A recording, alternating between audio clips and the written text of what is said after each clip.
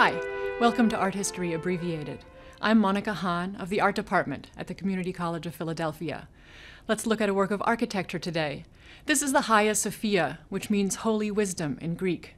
This very large building has long been used for worship, but not always by the same faith. It was built in the 6th century as a Christian church. In fact, it was the personal church of the Roman Emperor Justinian, who ruled the empire from Constantinople, the former name of present day Istanbul in Turkey. Christianity had become the state religion of the Roman Empire by this time.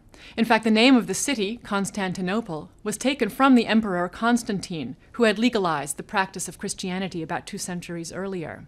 Before that, the city had been called Byzantium, and that's why art from this period in Roman history is called Byzantine art.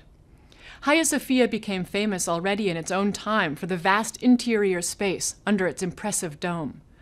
The architects were mathematicians, and they realized that they could create this massive, unobstructed interior space by channeling the weight of the dome through a kind of arch at each corner to four heavily reinforced piers. So all the weight is concentrated on the main four corners of the interior. This allows for the spaces in between to be opened up for windows, since the walls are no longer weight bearing. The result is an enormous, light filled interior space, the sheer size of which had never been seen in the West before. In fact, Hagia Sophia remained the largest cathedral in the world for more than a thousand years. The interior was decorated with murals and mosaics depicting angels and other Christian scenes. Hagia Sophia remained in use as a church until the 15th century, when the Turkish Empire conquered Constantinople.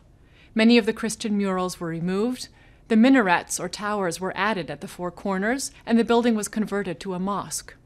It remained a mosque until it became a museum in 1935, and the history of both its incarnations is evident.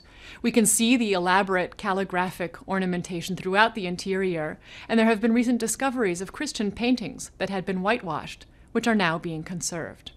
Thanks for joining me. See you next time on Art History Abbreviated. For more information about the art department, please contact us at the college.